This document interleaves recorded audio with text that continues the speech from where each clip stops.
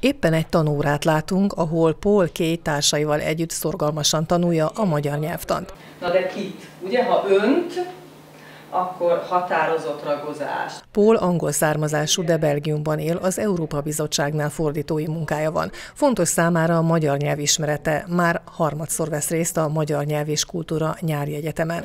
Tíz éve kezdte el a magyar tanulni, akkor két évig folyamatosan foglalkozott a nyelvvel. Aztán egy szünetet csináltam, nem hat-hét évig nem, nem tanultam a magyar nyelvet, sokat elfelejtettem, és aztán ezért két, 2018-ban uh, ide Pécsre először kezdtem, hogy újra magyar nyelvet tanulni kezdeni. A részvevők célja a magyar nyelv és vele együtt a kultúra minél tökéletesebb elsajátítása.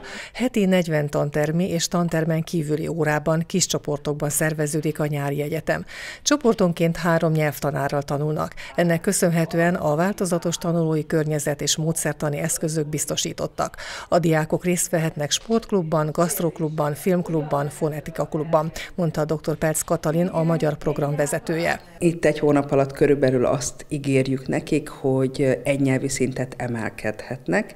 Jelenleg hét nyelvi szinten folyik az oktatás, tehát ennek is köszönhetjük talán azt, hogy sokan visszajárnak. Ami talán érdekes, hogy a felsőfokú csoportban van szerintem jelenleg a legtöbb visszatérő hallgató. Azt gondolom, hogy, hogy ez annak is köszönhető, hogy nekik is tudunk újat mondani. Tananyaként a Pécsi Tudományegyetemen megjelenő Szita Szilvia és Perc Katalin által írt magyarok tankönyvcsaládot használják. Ez a modell alapú oktatás módszereit követi. A kurzusra Európa szinte valamennyi országából, többek között Ukrajnából és Oroszországból is, de Argentinából, Brazíliából, az Egyesült Államokból, Japánból, Kanadából, Kínából is érkeztek hallgatók.